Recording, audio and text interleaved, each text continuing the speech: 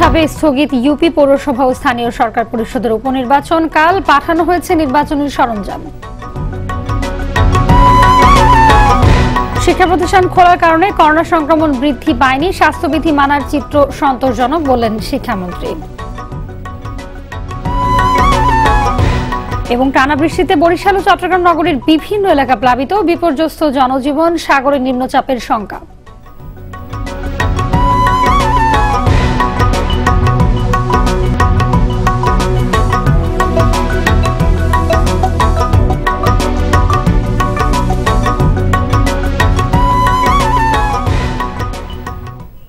আসসালামু আলাইকুম। স্বাগত জানাচ্ছি আরটিভি জেলা সংবাদে। শুনছিলেন শিরোনাম, পুরো সংবাদ জুড়ে আপনাদের সঙ্গে আছি আমি হাবিবা আফরোজ।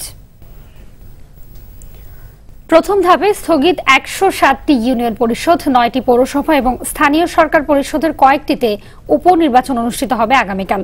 তবে ভোটের আগেই বাগেরহাট, চট্টগ্রাম, খুলনায় তেতাল্লিশটি ইউপিতে আওয়ামী লীগের মনোনীত চেয়ারম্যান প্রার্থীরা বিনা প্রতিদ্বন্দ্বিতায় নির্বাচিত হয়েছেন। দেশে প্রায় সাড়ে চার হাজার ইউপিতে কয়েক ধাপে ভোট হবে। গত তিন মার্চ প্রথম ধাপের তিনশো একাত্তরটি ইউপির ভোটের তফসিল ঘোষণা করেছিল নির্বাচন কমিশন। গত একুশ জুন দুশো চারটি ইউপিতে ভোট হয়, কিন্তু কোভিড পরিস্থিতির অবনতি হওয়ায় একশো সাতষট্টি ইউপি ভোট স্থগিত করা হয়। এর মধ্যে একশো ষাটটিতে কাল ভোট হবে। করোনা সংক্রমণ পরিস্থিতির মধ্যে স্বাস্থ্য বিধি মেনে সকাল আটটা থেকে বিকেল চারটা পর্যন্ত একটানা ভোট নেওয়া হবে। এর মধ্যে কেন্দ্রে কেন্দ্রে পাঠানো হয়েছে নির্বাচনের সরঞ্জাম।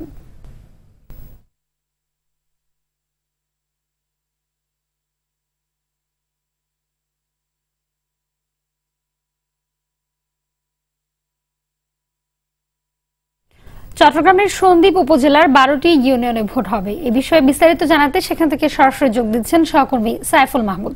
সাইফুল সাইফুল, শেষ মুহূর্তে নির্বাচনী পরিবেশ কেমন দেখছেন?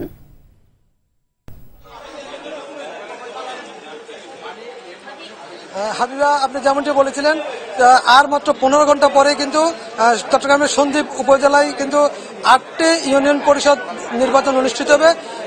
যদিও এই সন্দ্বীপ ইউনিয়ন পরিষদে কিন্তু বারোটি ইয়ে রয়েছে, ইউনিয়ন পরিষদ রয়েছে, কিন্তু এখানে কিন্তু আটটিতে কিন্তু চেয়ারম্যান পদে নির্বাচন হবে। বাকি চারটিতে কিন্তু ইতিমধ্যে বিনা প্রতিদ্বন্দ্বিতায় আওয়ামী লীগের প্রার্থী বিজয়ী হয়েছেন।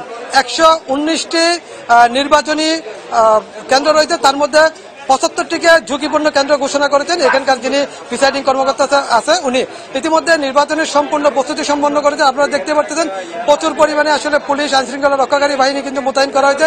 সেই সাথে বিভিন্ন কেন্দ্রে কেন্দ্রে ইতিমধ্যে সমস্ত নির্বাচনী সরঞ্জাম পাঠিয়ে দেওয়া হয়েছে।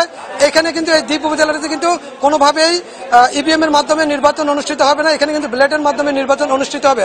আরেকটি বিষয় হচ্ছে যে আটশো আইন শৃঙ্খলা রক্ষাকারী বাহিনী মোতায়েন করা হয়েছে। তার মধ্যে সাতশো পুলিশ, একশো বিজিবি এবং র্যাব রয়েছে। নির্বাচনী কর্মকর্তা জানিয়েছেন, যে কোনো কিছুর বিনিময়ে উনি কিন্তু এখানে নির্বাচন সুষ্ঠু করার জন্য বদ্ধপরিবক এবং এখানকার ভোটাররা কিন্তু আশা করছেন, যাতে একটা সুন্দর, সুষ্ঠু নির্বাচন অনুষ্ঠিত হয়। হাবিবে, এই ছিল চট্টগ্রামের সন্দীপ থেকে আমার কাছে সর্বশেষ। ধন্যবাদ আপনাকে। সাইফুল মাহমুদ জানাচ্ছিলেন সন্দীপ থেকে নির্বাচনের সবশেষ খবরাখবর। স্কুল খোলার কারণে গত এক সপ্তাহে করোনা সংক্রমণ বৃদ্ধি পায়নি এবং সংক্রমণ ছড়িয়ে পড়ার আশঙ্কা নেই বলে জানিয়েছেন শিক্ষামন্ত্রী ডাক্তার দীপুমণি তবে সবাইকে সতর্ক থেকে মাস্ক পরার আহ্বান জানান তিনি। শিক্ষামন্ত্রী জানান, একজন শিক্ষার্থী ও তার মা করোনা আক্রান্ত হয়েছেন বলে তথ্য পাওয়া গেছে। তারা স্কুল থেকে সংক্রমিত হয়েছেন কিনা তা নিশ্চিত হতে চেষ্টা চলছে। রাজধানীর যাত্রাবাড়ি আইডিয়াল স্কুল অ্যান্ড কলেজে পরিদর্শন শেষে এসব কথা বলেন তিনি। এ সময় করোনা প্রতিরোধী স্কুলের বাইরে অপেক্ষা করা অভিভাবকদের আরও বেশি সচেতন হওয়ার আহ্বান জানান শিক্ষামন্ত্রী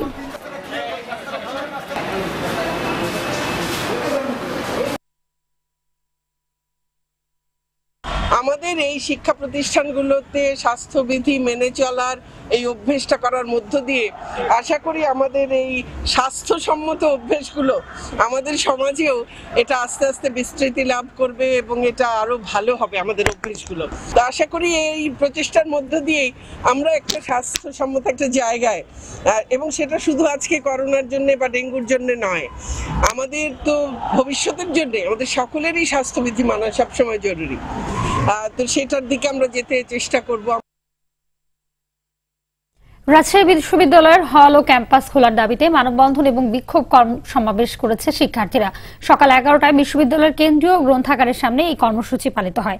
এ সময় বিশ্ববিদ্যালয়ের শাখা ছাত্র ইউনিয়নের সভাপতি শাকিলা খাতুন, ছাত্র ফেডারেশনের সাধারণ সম্পাদক মোহাম্মদ হোসেন মিলন সহ আরও অনেকে উপস্থিত ছিলেন। পরে শিক্ষার্থীরা উপাচার্য অধ্যাপক গোলাম সাব্বির সাত্তার তাপুর সঙ্গে দেখা করে হল খোলার দাবি জানান। এ সময় উপাচার্য জানান, স্নাতক প্রথম বর্ষের ভর্তি পরীক্ষার আগে কোনোভাবেই আবাসিক হল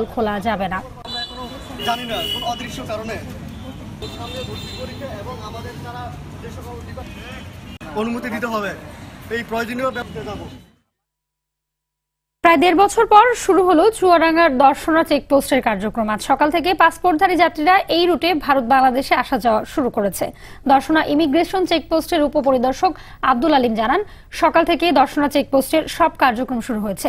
দীর্ঘ দেড় বছর পর আজ থেকে এই চেকপোস্ট দিয়ে পুনরায় যাত্রী আসা যাওয়া শুরু হলো। এক্ষেত্রে এই রুট ব্যবহারে যাত্রীদের আর কোনো এনওসির প্রয়োজন হবে না। তবে এই চেকপোস্ট দিয়ে যাতায়াতের ক্ষেত্রে সব নাগরিককে যাত্রার আগে বাহাত্তর ঘণ্টার মধ্যে করা আরটিপিসিআর টেস্ট সার্টিফিকেট সঙ্গে রাখতে হবে। এর আগে করোনার কারণে গত বছরের চোদ্দ মার্চ দর্শনা চেকপোস্টের সব কার্যক্রম বন্ধ করে দেওয়া হয়। সিরাজগঞ্জের উল্লাপাড়ায় দুই ঘণ্টা বন্ধ থাকার পর ঢাকার সঙ্গে উত্তর ও দক্ষিণাঞ্চলের রেল যোগাযোগ স্বাভাবিক হয়েছে। এর আগে ইঞ্জিন বিকল হওয়ায় রংপুর এক্সপ্রেস ট্রেনটি সিরাজগঞ্জের উল্লাপাড়া স্টেশনে আটকা পড়ে। দুই ঘণ্টার চেষ্টায় বিকল ট্রেনটি সরিয়ে নেয় লাহিড়ি মোহনপুর স্টেশনে আটকে থাকা কুড়িগ্রাম এক্সপ্রেস ট্রেনটি ঢাকার উদ্দেশ্যে ছেড়ে যায়। দুপুর একটার দিকে ঢাকা থেকে রংপুর যাবার পথে উল্লাপাড়া রেলওয়ে স্টেশন ও লাহিড়ি মোহনপুর রেলওয়ে স্টেশনের মাঝামাঝি বত্রিশ নম্বর ব্রিজ এলাকায় রংপুর এক্সপ্রেস ট্রেনটির ইঞ্জিন বিকল হয়।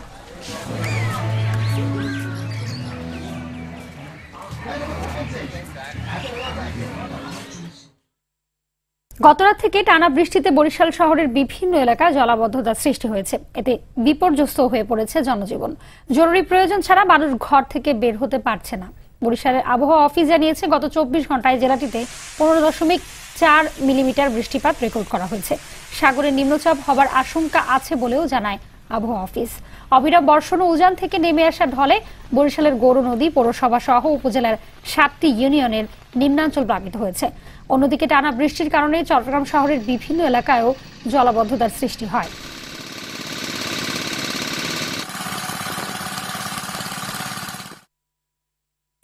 রাজনৈতিক নেতাদের আচরণের কারণে সরকারের উন্নয়ন যেন ধামাচাপা না পড়ে, সেদিকে নজর দেওয়ার আহ্বান জানিয়েছেন নৌ পরিবহন প্রতিমন্ত্রী খালেদ মাহমুদ চৌধুরী। দুপুরে দিনাজপুর থেকে প্রকাশিত একটি দৈনিকের প্রতিষ্ঠা বার্ষিকী উপলক্ষে আয়োজিত আলোচনা সভার প্রধান অতিথির বক্তব্যে তিনি এই কথা বলেন। এ সময় তিনি বলেন, রাজনৈতিক নেতাদের আচরণ মানুষ পছন্দ করে না, যদিও রাজনৈতিক শিষ্টাচার তারা ছাড়া সার্বিক উন্নয়ন দুঃসাধ্য। জেলা পরিষদের চেয়ারম্যান আজিজুল ইসলাম চৌধুরী, পৌর মেয়র সৈয়দ জাহাঙ্গীর আলম সহ সংশ্লিষ্টরা এ সময় উপস্থিত ছিলেন।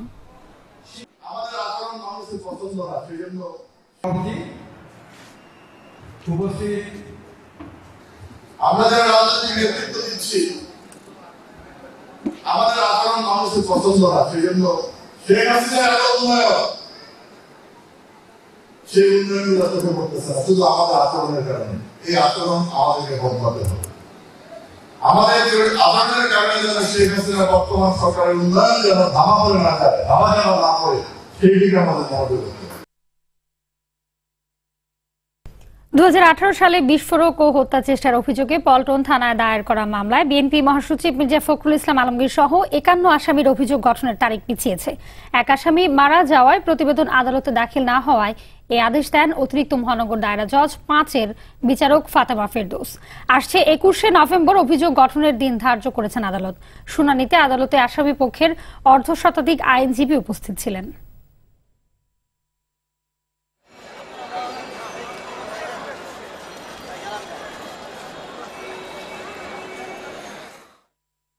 সিলেট কেন্দ্রীয় কারাগারের বরখাস্তকৃত ডিআইজি প্রিজন্স প্রার্থ গোপালকে, গোপাল বণিককে কারাগারে পাঠানোর আদেশ দিয়েছেন আদালত। রোববার ঢাকার বিশেষ জজ, আদালত চারের বিচারক শেখ নাজমুল আলমের আদালতে আত্মসমর্পণ করে জামিন আবেদন করলে তা নামঞ্জুর করেন। দু হাজার উনিশ সালের আঠাশ জুলাই কারাগারে অনিয়ম ও দুর্নীতির অভিযোগে পার্থ গোপালকে জিজ্ঞাসাবাদ করে দুদক। ওই দিন বিকেলেই তার বাসায় অভিযান চালিয়ে আশি লাখ টাকা উদ্ধার ও তাকে আটক করা হয়। গত উনিশ জুন তিনি আদালত থেকে জামিন পান। এরপর দুই সেপ্টেম্বর দুদকে আপিল মঞ্জুর করে জামিন বাতিল করেন এবং একই সঙ্গে তাকে আত্মসমর্পণের নির্দেশ দেন আদালত।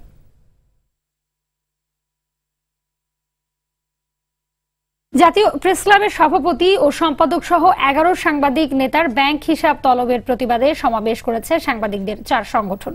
জাতীয় প্রেস ক্লাব প্রাঙ্গণে এই সমাবেশ অনুষ্ঠিত হয়। সমাবেশে ব্যাংক হিসাব তলবের বিষয়ে সরকারের যথাযথ কর্তৃপক্ষের কাছে সুস্পষ্ট ব্যাখ্যা ও প্রতিকার চান সাংবাদিক নেতারা।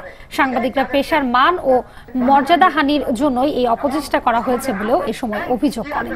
সাংবাদিকদের ব্যাংক হিসাব তলব চেয়ে পাঠানো চিঠি অবিলম্বে প্রত্যাহারের দাবিও জানান বক্তারা। চাকরি করেন কয় থেকে এটা।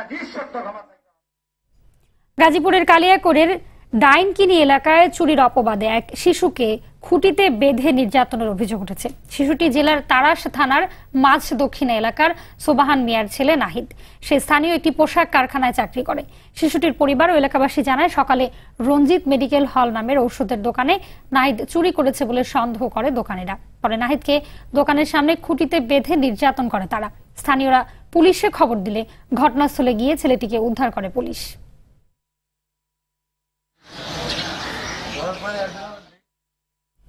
বাগেরহাট সদরের যাত্রাপুর বাজার সংলগ্ন একটি প্লাইউড কারখানার অগ্নিকাণ্ডের ঘটনা ঘটেছে। সকালে টিকে গ্রুপের টিনবোর্ড অ্যান্ড ফাইবার নামক হার্ডবোর্ড কারখানায় এই আগুন লাগে। খবর পেয়ে ফায়ার সার্ভিসের দুইটি ইউনিট এসে আগুন নিয়ন্ত্রণ আনে। আগুন লাগার কারণ এবং ক্ষয়ক্ষতির পরিমাণ এখনও জানা যায়নি।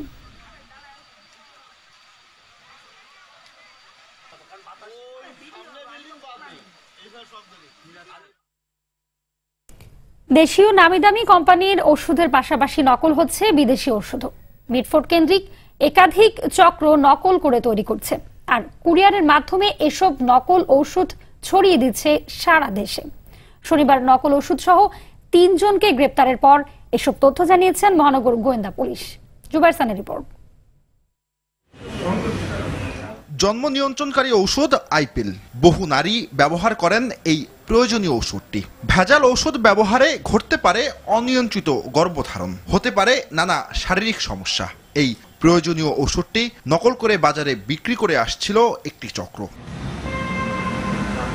শুধু আইপিল নয়, শরীর ব্যথাসহ দেশি বিদেশি নানা ওষুধ নকল করত এই চক্রটি। শনিবার ডিবি পুলিশ মিডফোর্ট এলাকা থেকে এই চক্রের তিনজনকে গ্রেফতার করে। পুলিশ বলছে, তিনজনেরই রয়েছে একাধিক গোডাউন ও ফার্মেসি। এসব গোডাউনে তারা নকল ওষুধ রেখে দেশের বিভিন্ন জেলার ফার্মেসির মালিকদের চাহিদার ভিত্তিতে অর্ডার নিয়ে বাজারজাত করে।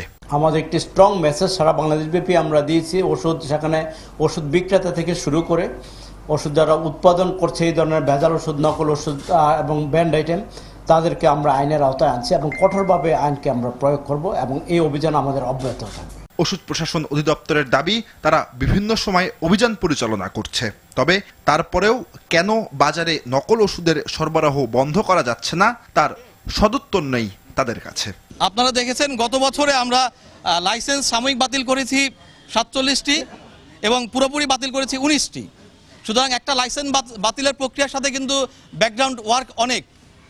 আপনারা আপনারা জানেন লাইসেন্স বাতিল করলে সে কিন্তু কোর্টে চলে যেতে পারে। সুতরাং কোর্টে গিয়েও সাথে নিরা- ই না করতে পারে। সুতরাং আমরা ওইভাবে সমস্ত প্রক্রিয়া যথাযথ অনুসরণ করেই আমরা বাতিল করি। সুতরাং আমরা আমাদের কিন্তু অনেক কাজ করতে হচ্ছে। জেনে শুনে যেসব দোকানদার এসব নকল ঔষধ বিক্রি করছে, তাদেরকেও আইনের আওতায় আনা হবে বলে জানিয়েছে গোয়েন্দা police. Zubair Sunny R TV Dhaka. আসলে প্রাইভেট কার নিয়ন্ত্রণ হারিয়ে তুরাগ নদীতে পড়ে ভোলা দাস দশ নামে এক ব্যবসায়ী নিহত হয়েছে। গেল রাতে আশুলিয়ার মরাগাং এলাকায় এই দুর্ঘটনা ঘটে। এই ঘটনায় আহত অবস্থায় দুজনকে উদ্ধার করা হয়েছে। পুলিশ জানায়, রাজধানীর উত্তরা থেকে প্রাইভেট কারে করে ভোলা দাস সহ দুজন নিজ বাড়ি তৈরি যাচ্ছিলেন। পথে প্রাইভেট কারটি নিয়ন্ত্রণ হারিয়ে তুরাগ নদীতে পড়ে যায়। অন্যদিকে ফরিদপুরের সড়ক দুর্ঘটনায় ভাঙ্গা উপজেলার উপসহকারী প্রকৌশলী এম কামরুল হাসান নিহত হয়েছে। সকালে ফরিদপুর থেকে ভাঙা যাওয়ার পথে ট্রাক চাপা দিলে গুরুতর আহত হন তিনি। পরে ফরিদপুর ট্রমা সেন্টারে চিকিৎসাধীন অবস্থায় মৃত্যু হয় তার।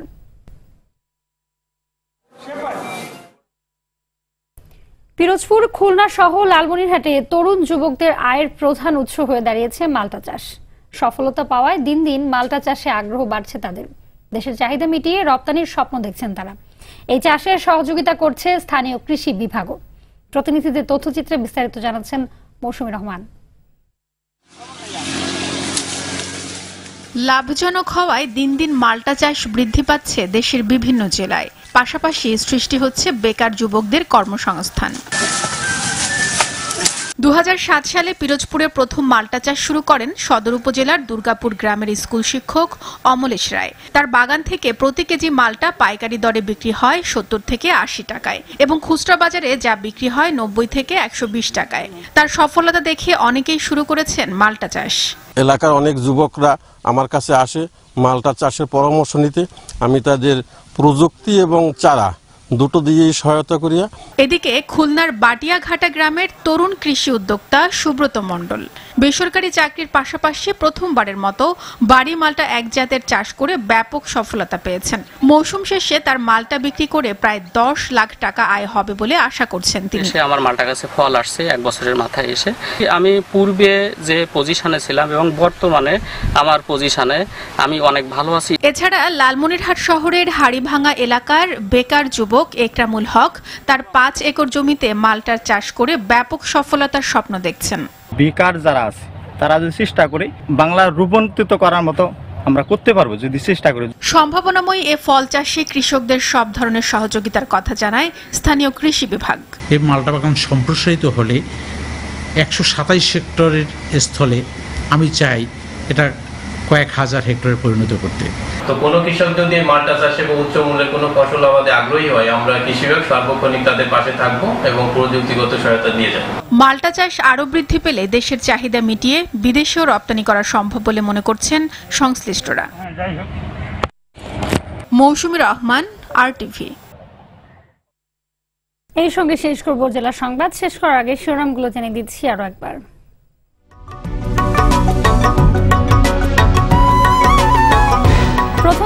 স্থগিত ইউপি পৌরসভা স্থানীয় সরকার পরিষদের উপনির্বাচন কাল পাঠানো হচ্ছে নির্বাচনী সরঞ্জাম।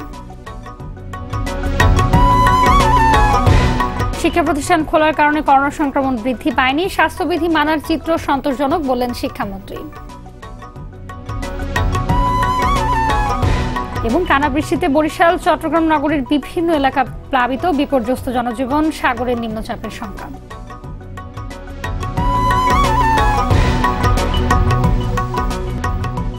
দর্শক, করোনা ভাইরাস নিয়ে আতঙ্কিত হবেন না, সতর্ক হন, নিজে পরিচ্ছন্ন থাকুন, মাস্ক পরুন, অন্যকে সচেতন করুন। এই সংকট মুহূর্তে প্রয়োজনীয় সব তথ্য নিয়ে আপনাদের পাশে আছে আরটিভি জেলা সংবাদ এই পর্যন্ত আরটিভির সবশেষ সংবাদ জানতে যে কোনো মোবাইল ফোন থেকে two four one four number dial করুন। আর মোবাইল ফোনের সংবাদ দেখতে অ্যাপ স্টোর গুগল প্লে বা উইন্ডোজ স্টোর থেকে ডাউনলোড করুন আরটিভি অ্যাপস এছাড়া তাৎক্ষণিক ও বিনোদন সংবাদ জানতে বিশ্বের যে কোনো প্রান্ত থেকে ভিজিট করুন RTV online dot com Facebook dot com slash RTV online YouTube dot com slash RTV digitals এখন থেকে আরটিভির সব বিনোদনমূলক অনুষ্ঠান দেখতে পাবেন আরটিভি প্লাসে ধন্যবাদ সবাইকে।